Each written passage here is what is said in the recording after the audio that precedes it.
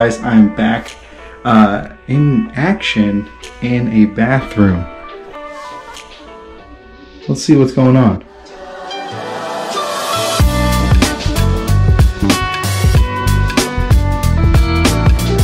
All right so i've had some complaints. This is a glacier bay system. When we bought the house glacier bay was like the cheapest possible thing uh, to be put in here the problem with Glacier Bay is that it's cheap. They use uh, parts made mostly from overseas, and other brands do too, but they're just really cheaply made. In fact, a whole system like this could run you about $30 when it should cost you uh, closer to 100 for a nice one.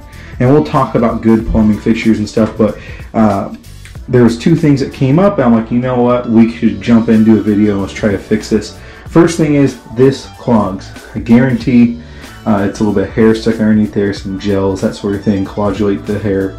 Um, no big deal. We can fix that. Problem is we're on a septic, so the last thing we want to do is throw some Drano in there uh, and snake it out. We don't want to do that. A snake is okay. The Drano is not good for the septic, but there is a better way, and I'll show you that here in a minute. Uh, and then we'll take a look at this fixture and figure out why it's only giving us hot water. No cold water. Hot. Let's figure it out. Now, one trick I learned um, with dealing with septics, we don't want to deal with too many harsh chemicals. So what we're going to do is we're going to put boiling water down that uh, that drain, and it becomes a little bit of an issue. We don't really want to throw in too much boiling water to melt certain things. Like for example, this bath mat needs to be at least pulled up and removed. Um, we want to make sure we have a nice, easy, clean, simple um, way of work. At boiling water, I don't know, I don't think it'll melt that, but it just might. So you want to be on, on safe and sorry. Water, slowly dump it down the active drain. Now you can see my glasses are getting fogged, that's okay. I can't really see what's going on.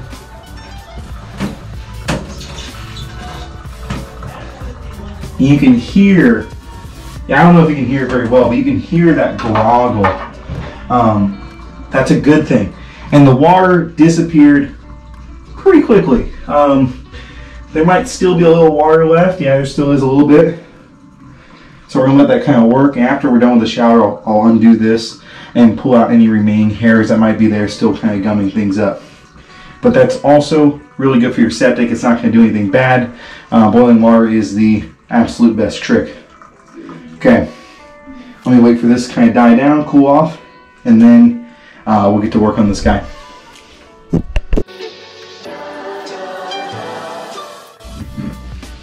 The handle should remove just like that. Be very careful not to lose this little screw.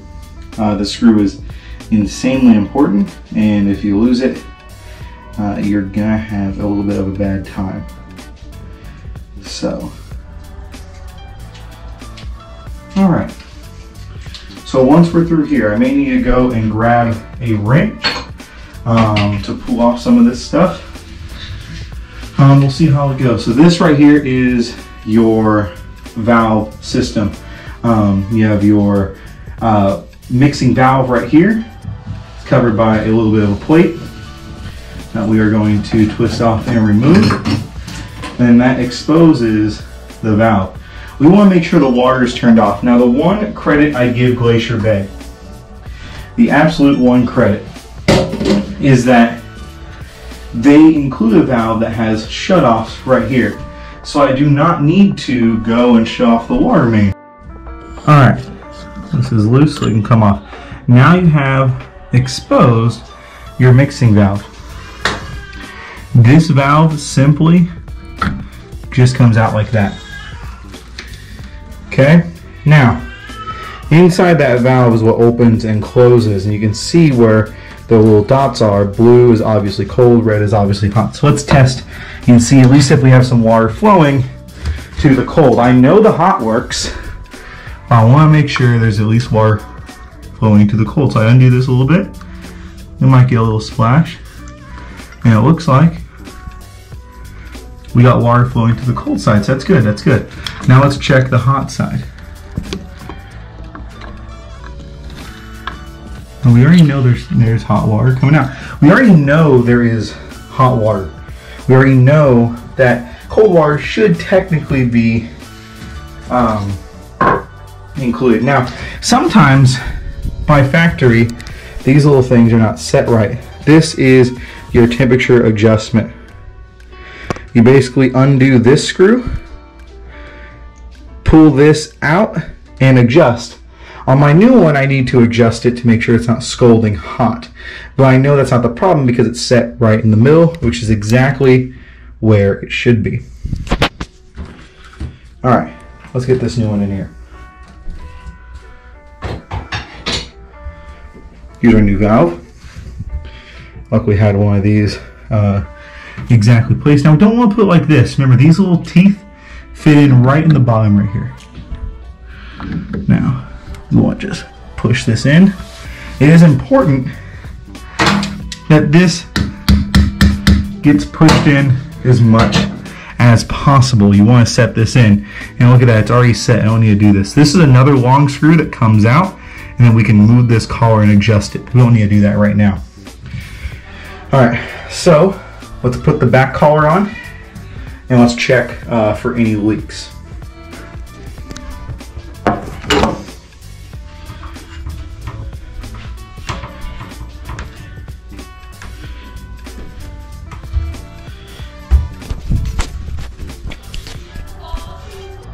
Okay. Now, one thing I forgot to mention, or I'm I going to say right now, is you want to make sure you have some plumber's faucet grease on hand. This prevents any rust from occurring of any of these cheaper parts. So I'm going to put a little bit of dab on there.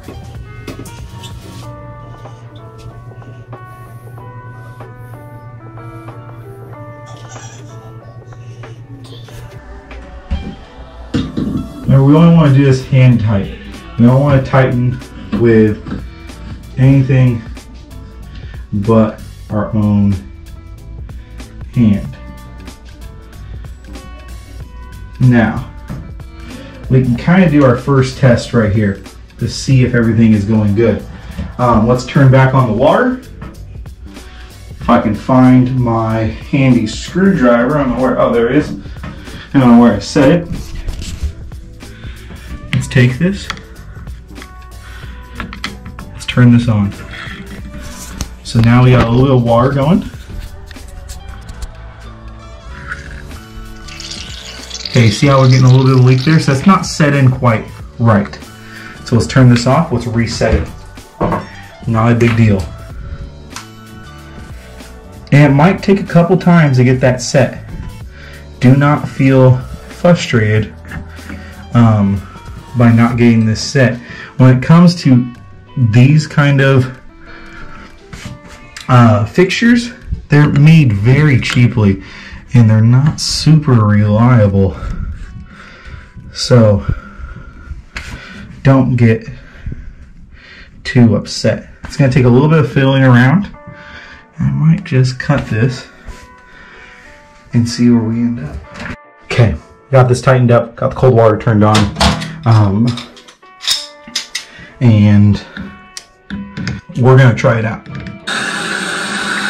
and we get water flow. Now it's not going to be a lot of pressure because it's, of course, that's pretty cold water. And of course it's, um, I can get a whole lot of water flow. It is a glacier bay. It does not have the most flow of water. Okay, real quick before we put everything back just like we did, let me grab some of the parts. Make sure each of these threads, including these guys, are greased properly. We're gonna put this back. That's draining. Don't have to do anything new. And that's it for this short video. All right, quick little plumbing. Remember, this valve is the problem with these types. This Glacier Bay from Home Depot, this type of faucet is this valve that will go bad every time. So, thank you for watching guys. Stay tuned to the next video.